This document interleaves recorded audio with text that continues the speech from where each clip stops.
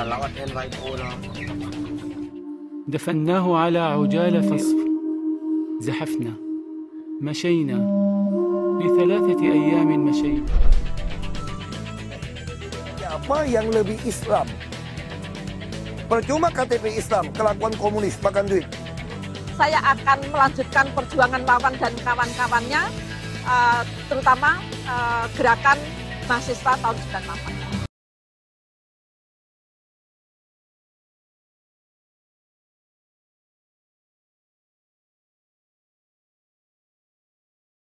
After the 10th year, um, we thought that we should have a change. So um, this year, uh, we had a kind of a regional focus. We had a lot of films from Southeast Asia region, and uh, we kind of concentrated on the theme of democracy and good governance. Uh, we thought that um, because the film festival initially was very Malaysian, we talked about Malaysian issues. We kind of concentrated on that aspect. But um, after 10 years, and after what we experienced in Malaysia uh, recently with the election and people power and trying to change, I think to a certain extent, um, we're kind of like running out of ideas, you know, in terms of how else can we bring about change in Malaysia. And I think um, we have a lot to learn from our neighbors, you know, activists and, uh, you know, people in Thailand, in Indonesia, in Philippines. So I thought it was um, good that um, films would be a good medium to start sharing, people to people sharing, yeah. Jadi baptis menjadi Katolik. Kami sudah menikah hampir tiga tahun. Istri gua Muslim sampai sekarang. Aku senang kok temenan sama mereka. Mereka nggak rempong orangnya. Jadi enak diajak bercanda dan apa? Jadi double perasaan Ini antara ganjang Cina sama ganjang mertua. Anak tikam juga. Kerem Cina juga. That is loyal to him and him alone. You know how many victims are in my food? In total, about 50 films over nine days. Yeah, and um, countries, I have uh, film from almost all countries in Southeast Asia except Laos, Philippines, and Brunei. Okay, um, but apart from that, I also had uh, several um, international films, like feature films, like uh, Marcus Vetter's films from Germany. Uh, I, we also had the Malaysian premiere of The Act of Killing by Joshua Oppenheimer, and apart from that, uh, several other films that uh, suited the topic, uh, suited the Malaysian uh, situation. There was a film. There's a film on Jordan about women in Jordan, like citizen journalists in Jordan, women citizen journalists, and uh, we're screening that at a women team uh, screening. Yeah, okay. So this year um, we have four categories uh, for prizes and awards. Um, the main one would be the best Southeast, Southeast Asian human rights film. Yeah, and uh, for that our judge, our judges uh, are Marcus Vetter from Germany. We also have um, Michelle Gyles-McDonnough. She is the head of UNDP in Malaysia now, and also um, Mr. Gerald Joseph. He is a board member of Komas. So these three panel of judges they judge about six films from Southeast Asia region uh, for this award of um, best Southeast Asian film, human rights film. But apart from that, um, there were so many good films and so many people we needed to like kind of recognize, and uh, so we created some jury prizes. One being um, best Malaysian film, and there was also um, an equality award. This was this was more for films that um, concentrated on like human dignity uh, and other issues that were not so much to do with politics or democracy. Yeah, and it's a really interesting category and selection of films that we received. And apart from that, um, we have one for long form documentary. Uh, although the competition just asked for films under 60 minutes, because we thought that Malaysians cannot watch too long documentaries, you know, like you know, uh, no, like this. I mean, the culture of documentaries is still being kind of uh, inculcated now. Yeah, but we received quite a few long form documentaries.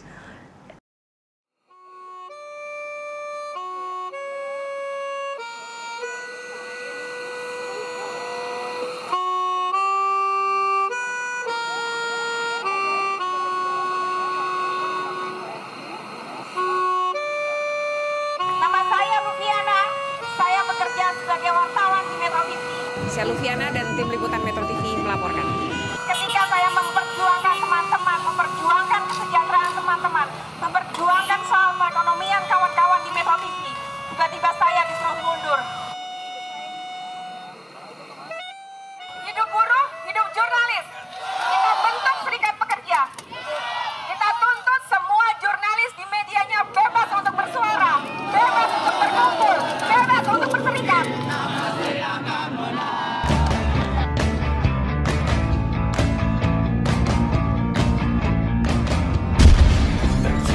Saya mau tanya sama kamu. Kamu mau bekerja betul di Metro TV? Gimana Mbak Lupiana bisa jawab? Ini kalau perusahaan bilang mencemarkan nama baik. Artinya bahwa memang sudah ingin melakukan reformasi Kalau saya nggak boleh ngomong sama siapa-siapa, ini membunuh kebebasan berekspresi. Besok kalian jadi PHK. Bela teman kalian, jadi pecat. Kita tahu setiap hari Metro TV selalu memproduksi kehendakan dan memproduksi kampanye-kampanye yang dilakukan oleh Surya Paloh dan partainya Partai Nasdem. Nggak apa-apa kalau Anda berbicara tentang dogma hukum. Tetapi kita berbicara tentang manusia.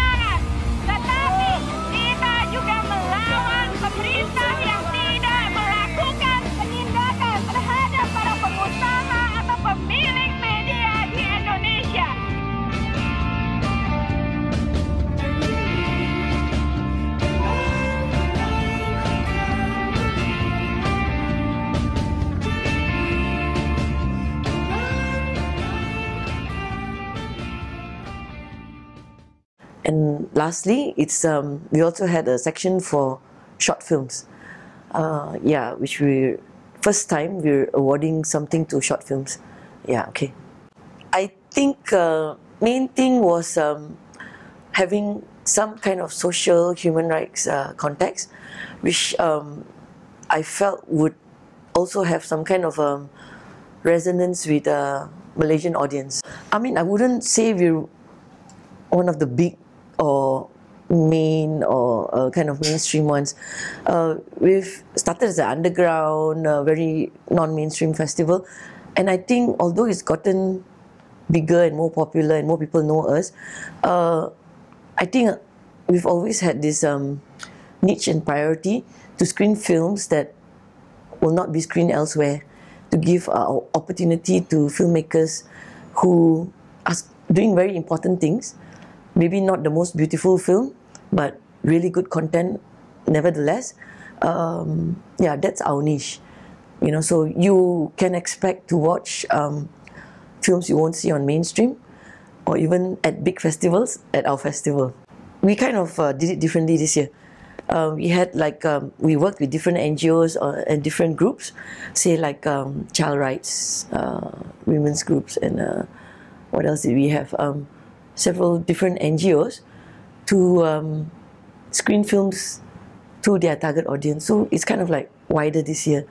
But for me, um, apart from filmmakers, I feel uh, I want to reach young people who um, want to see more films about their country and about issues that they should they care about that and they can't find information about in the mainstream. Yeah.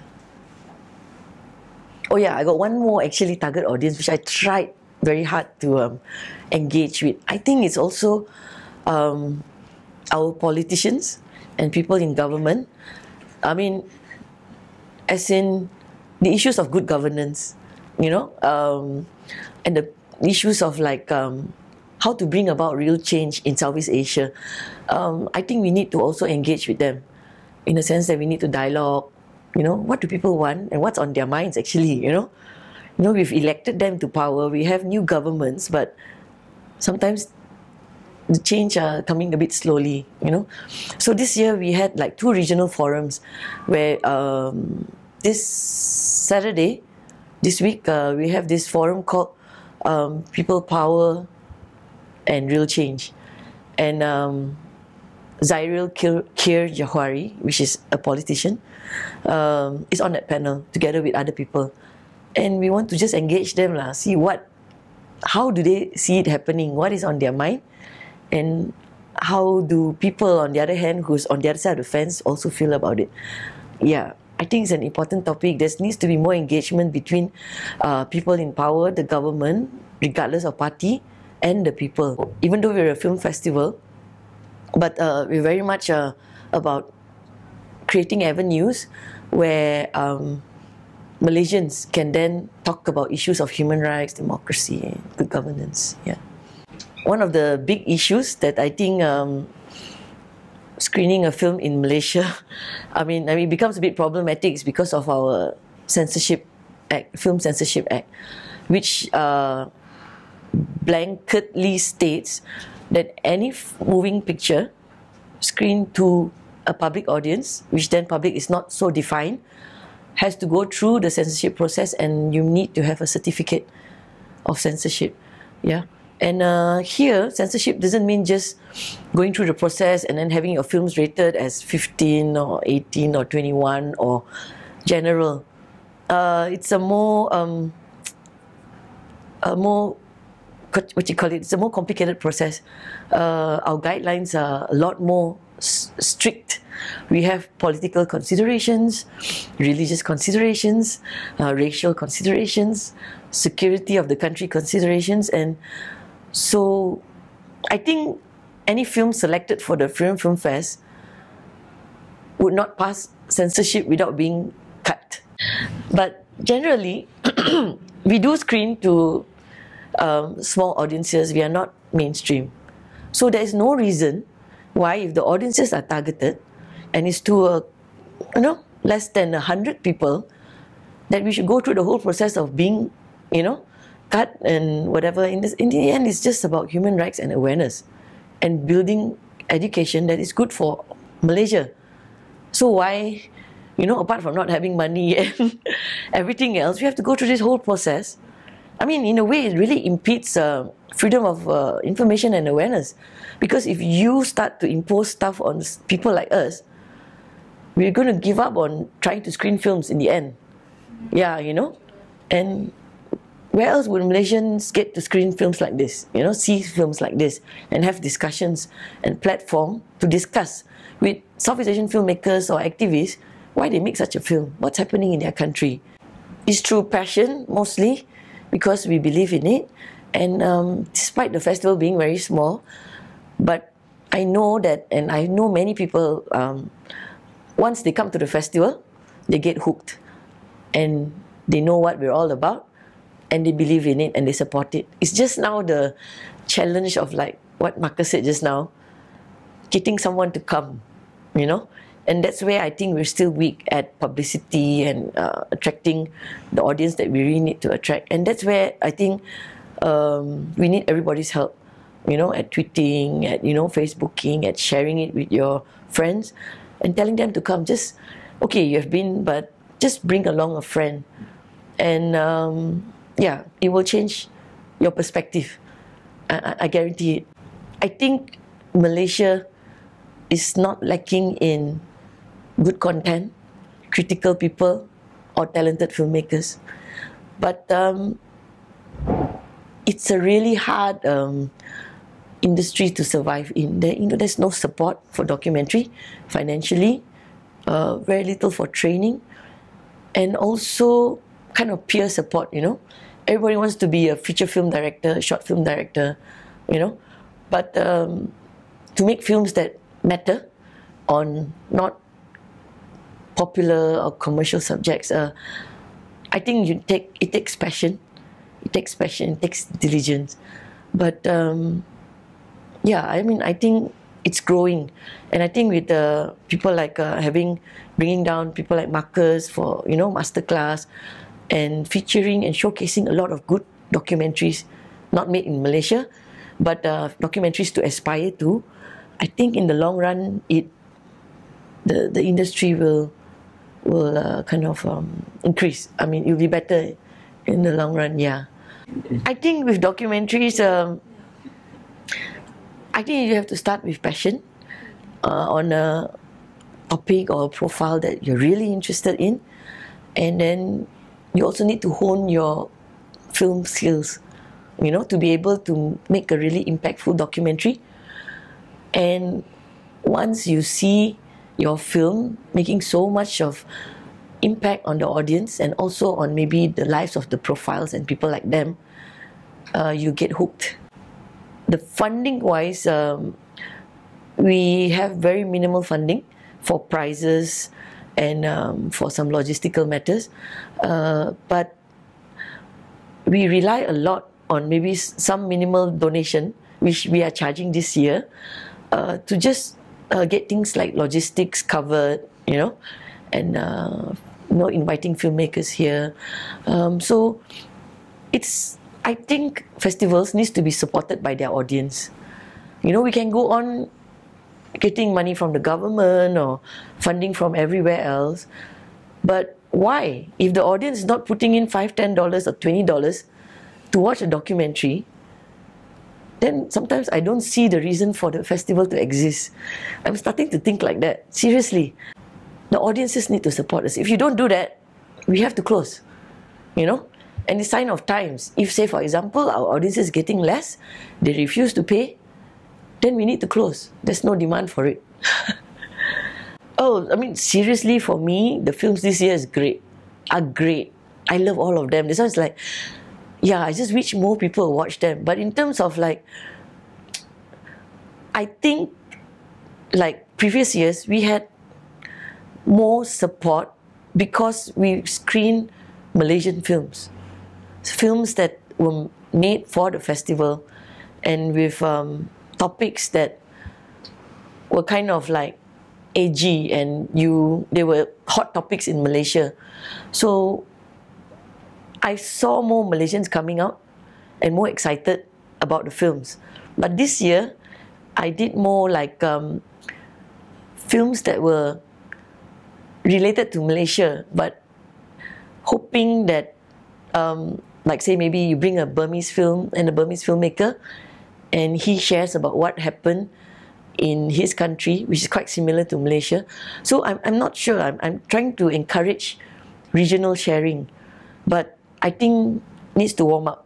Needs to warm up. People need to see. Oh, it's not just about Burma. It's also about Malaysia. It's about things that happen in both countries. You know, we can share strategies. We can learn from one another. So that needs to catch on. It hasn't yet, but I think um, I have one more weekend to go this Saturday and Sunday. Uh, working very hard at publicity.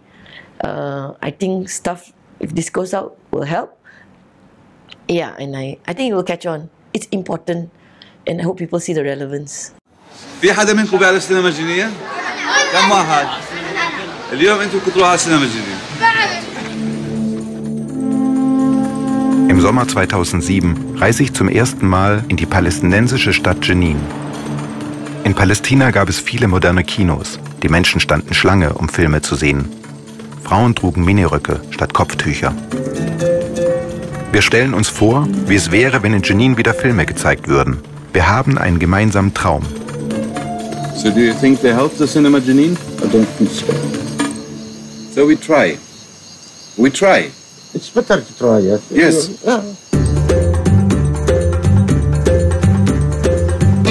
We have this cinema project and we need financing for it. هي إحدى أضخم السينمات في الضفة الغربية ضخمة جدا We give you the cinema to rebuild it It's a dangerous place, you know? Do you think there would be any groups who would oppose opening a cinema? I think yes. The law in Palestine is different from Europe. Even if this Gaza thing is happening, why this project is even more important. Turn the cinema into a tool of resistance. Or just to make a good cinema. 3D avatar. Ex- ex- exactly. Das Flüchtlingslager werden wir nachher sehen. Normalerweise kann man gar nicht unterscheiden, was jetzt Flüchtlingslager ist und was Jenin ist. It's magical. What do you know? You know the power of the screen. Ah. هذا روجر واترز سلم عليه I'm here to offer my moral and physical support. We need people who are coming to put Israeli hand with Palestinian hand together. Fassbinder gonna come. We can have a lecture in the cinema. Maybe Wim Wenders can come. Fassbinder is dead.